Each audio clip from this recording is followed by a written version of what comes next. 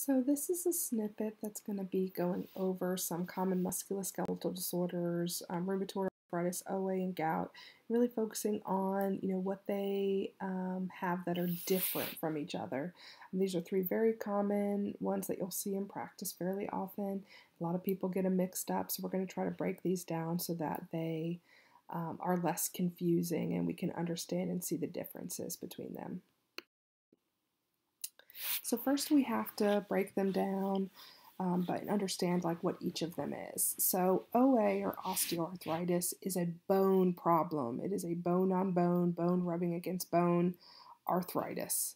Um, and it's all again about the bone. And so it's important to understand that because when we look at, you know, how um, this person's affected, um, when they hurt, where they hurt, um, diagnostic testing, treatment, all of that, it makes sense because it's about the bone. Um, rheumatoid arthritis, on the other hand, it's a immune arthritis. Um, so it's an autoimmune condition. Actually, it affects the whole body, um, but it's an inflammatory process of the joint. So it's not about the bones; it's about the joint area being inflamed. Um, so uh, while it, these are all happening at the location of bone, um, you know, rheumatoid arthritis is not coming from a bone problem. It's coming from a body problem, an immune problem. Um, and last but not least, there's gout, um, which is a um, collection of uric acid crystals. So this isn't even a bone problem. You're collecting uric acid crystals not because they're really cool, because you have a kidney problem. So your kidneys are either not excreting enough uric acid, or you're making too much, taking in too much from your diet, whatever it might be. Um, but you are collecting these extra because what your body does, if it can't get rid of something, it literally starts collecting it and then trying to push it out through your skin. So we'll talk more about this, but effectively, you know, um, gout is just a collection of these uric acid crystals that you have too much of um, uh, in your joints. So let's start talking about some of the major differences between these. So one of the big things you're going to see difference between them is the joints that are affected. So when we're talking about osteoarthritis, remember the bone problem. This is a bone problem and it's a problem because there's usually too much pressure or weight um, on the joints that are affected. So usually these are going to be weight bearing joints. These are people are going to have um, osteoarthritis in their hip and their knee. And the thing is, is it's not going to be on both sides. It's going to be usually on one side. It's asymmetrical. Um, another thing we might notice is they may have what are known as Bouchard's or um, Heberden's nodes.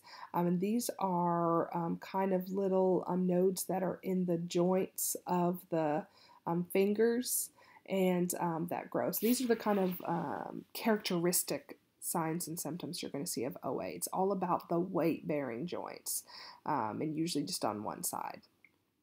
On the other hand, RA, um, rheumatoid arthritis, this immune problem, um, usually it's small joints that are affected first. It's not, remember, it's not a bone problem, it's an immune problem.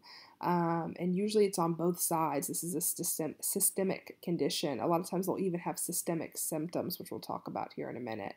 Um, you're also going to notice, notice deformities. One's known as ulnar drift. There's also Boutonniere's deformity and swan neck deformity. So, and you can see all of these in this picture below here.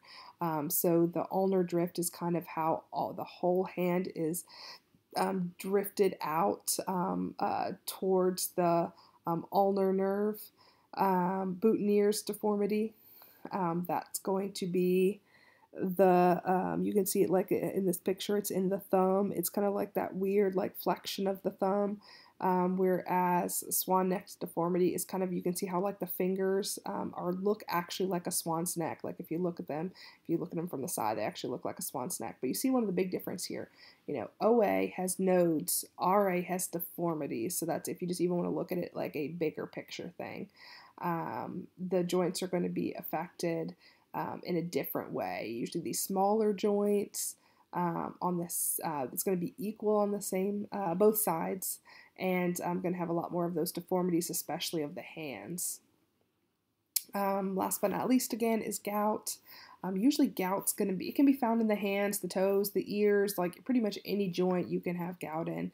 Um, but usually, it's going to be the hands or the feet, and most commonly, it's going to be in the great toe, so that your big toe is the most common place for gout. Um, Unlike, you know, OA and RA where you can have lots of joints affected, usually gout, there's less than four joints affected. Um, it's asymmetrical, so you can see kind of like in this picture, it's not um, equal on both sides. Um, and they have what's called tophi, which are kind of these um, uh, deposits of cr crystals. Um, and the other thing that you'll notice that's different is, you know, um, these crystals, they seem to come in all different shapes and sizes, and they actually, when you look at it through the skin, it almost looks like a whitish color to it.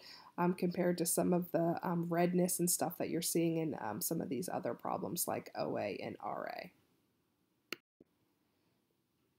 So let's talk about when they hurt. So this is going to be another differentiation between um, each of these disorders. So in OA, um, they hurt more with activity. So people that have osteoarthritis, it's all about those weight-bearing joints. So a lot of times this person's pain is going to get worse as the day goes on, um, the more that they're um, moving and using it. Um, so especially, you know, someone who has like um, arthritis in their back, you know, from, uh, you know, being up and moving around a lot. Um, the uh, the other thing is too, a lot of people with osteoarthritis will complain, like they'll say like, "Oh, I know it's about to rain because my hip or my knee is hurting," and that's because you know changes in the barometric pressure actually affects their joints. So they also hurt more when there is um, abnormal weather patterns. Um, people with OA also can get stiff. Um, and usually it's from being in the same place. So this person's going to complain a lot in the morning when they first wake up for about the first 30 minutes or so that they're really stiff. Uh, but it usually goes away. Um, and that's one of the ways that we usually tell that it's different from RA and other things is that that stiffness in the morning will go away.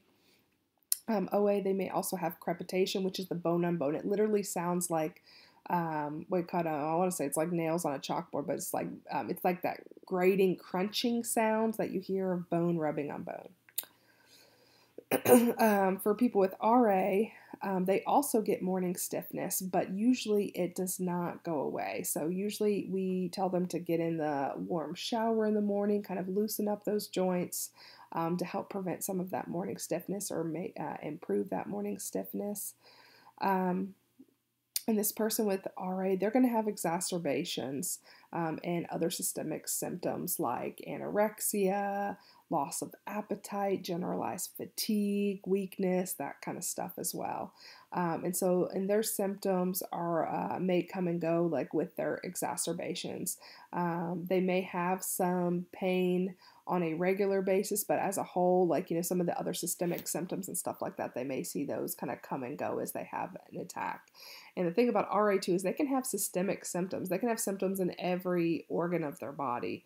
Um, so with OA, it's more just about the bone again, um, all about, you know, that bone pain.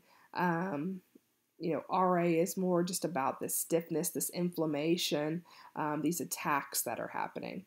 And so, similarly, gout also has attacks, um, except gout, like in between, there's no symptoms. Like, you know, if someone has gout, they only know they have gout when they're having an attack. Um, and people get gout after like stress, like if they had some trauma, if they're drinking too much, alcohol, um, eating too much high purine foods, things like that um, it's going to kind of precipitate those attacks. You know, people with RA, they don't know what causes their attacks necessarily. Um, they could be more predisposed when they're sick, but you know, with gout, it's a little bit more predictable where it's like, hey, you know, if I eat too much of this, then I am going to have a gout attack. Where RA, it's autoimmune, so we don't really understand, you know, why their body is attacking itself um, or when it's going to attack itself, but it does. So let's look at some diagnostics, as this is also going to show us some differences. Um, with OA, it's a bone problem, so we're going to look at um, you know diagnostics that involve the bone. So a bone scan, CT, MRI, X-ray. Um, and one thing we're going to notice on those X-rays are going to be what are called osteophytes. So these little projections of the bone from the bone rubbing on the bone. Um, so those will be present on someone who had osteoarthritis.